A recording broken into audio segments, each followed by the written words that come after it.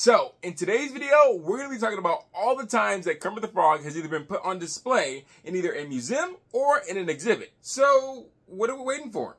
Let's talk about it. So, since the beginning of Kermit's creation to current day, there have been multiple different versions of the Kermit the Frog puppet, and throughout the years as time has went on, Kermit has made some updated changes or modifications, and as the years have continued to go on, Kermit has been updated multiple, multiple times. This also means that the different puppet versions of Kermit that have been used in the past, those puppets have also been retired. And instead of them just randomly sitting on a shelf somewhere, or unfortunately sometimes thrown away or discarded because of wear and tear throughout the years, it's always awesome to see and hear that these Kermit puppets have been restored or are put on display in a museum to live a second life. Kermit the Frog has been put on display at multiple museums throughout the years. One of the first ones being the National Museum of American History. The original Kermit the Frog puppet created by Jim Henson is on display at the National Museum of American History, along with other Muppets puppets, and marionettes. This Kermit the Frog puppet was created by Jim Henson in 1955 for Sam and Friends.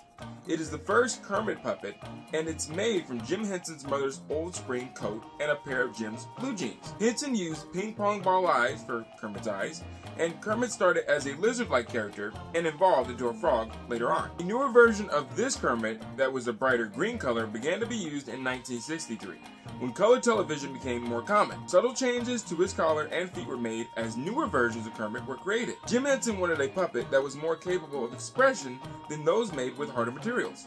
There is no stuffing in Kermit's head, meaning the puppeteer's hand is the only thing inside. This allows for every subtle movement of the puppeteer's fingers to become a subtle expression and change in Kermit's face. The second place that Kermit has been put on display is the birthplace of Kermit the Frog in Leland, Mississippi. The exhibit also features other memorabilia, including photographs, letters, and a video center. This exhibit was established in August 1991. The exhibit was a gift to the people of Leland by Jim's wife, Jane Henson. The highlight of the exhibit is a replica Kermit that was donated to the museum for permanent display. Another place is the Jim Henson Foundation. The Jim Henson Foundation has a collection of nearly 50 puppets, including Kermit the Frog, Miss Piggy, Ralph, Big Bird, Cookie Monster, Gobo Fraggle, and Wendell the Porcupine. Another place that Kermit has been put on display is the Detroit Institute of Arts. Kermit the Frog puppet created by Jim Henson in 1969 is on display at the Detroit Institute of Arts. The newer slash updated version of Kermit has also been featured in the Smithsonian Museum, which is also the National Museum of American History as well. Kermit has also been featured in the Museum of the Moving Image. He's also there along with 50 other puppets, including Miss Piggy, Ralph, Big Bird, Cookie Monster, Gobo Fraggle, and Wendell Porcupine. Also, you can see Kermit on display at the Traveling Jim Henson exhibit. This exhibit is currently still traveling around the country, and at the time, I was fortunate enough to see it when it was out in LA at the Skirball Museum. Got to see a bunch of cool Muppet and Sesame Street characters on display. I believe this was back in either 2018, 2019. And when you walk right into the exhibit, the first person to greet you is Kermit the Frog. Kermit is also currently on display at the Center for Puppetry Arts Museum in Atlanta, Georgia. From what I've heard to the people that have been, Kermit the Frog is a part of the Center for Puppetry Arts Jim Henson Collection Gallery.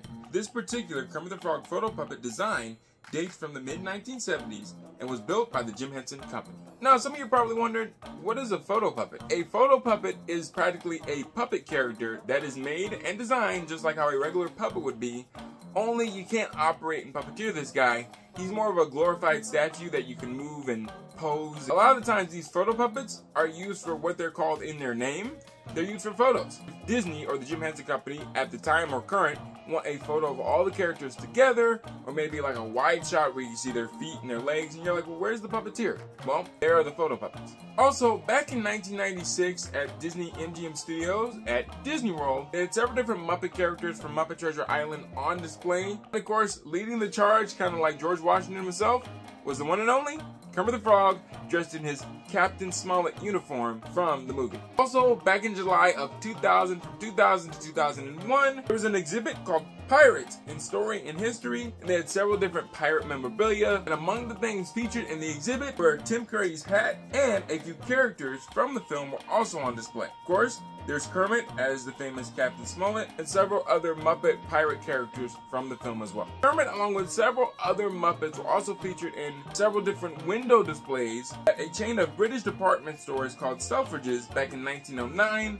like Macy's in the United States, they had become world famous for their unique and ever-changing window displays. Kermit and Piggy appeared in a London window display on December 29, 1977. In 2004, Kermit the Frog and Robin were featured in a Christmas display at the flagship store on Oxford Street in London as Bob Cratchit and Tiny Tim. In 1987, Jim Henson and Michael Frith collaborated with designer Gene Moore to create holiday window displays for the famed New York City jewelry store Tiffany's. I also discussed in my Muppets Wizard of Oz video, which you can check out, it's probably popping up here on the screen right here, I discussed that Kermit and his Muppet friends were also put on display for Macy's for the promotion of the movie that the Macy's store windows were designed with scenes of photo puppets on display which included Kermit.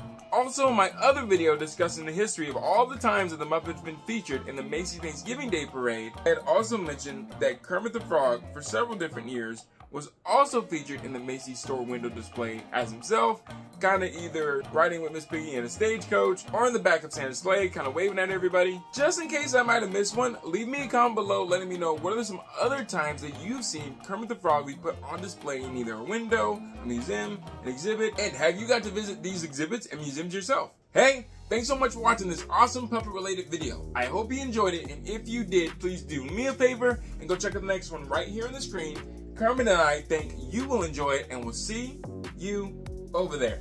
Until next time, take care and well, have an awesome day.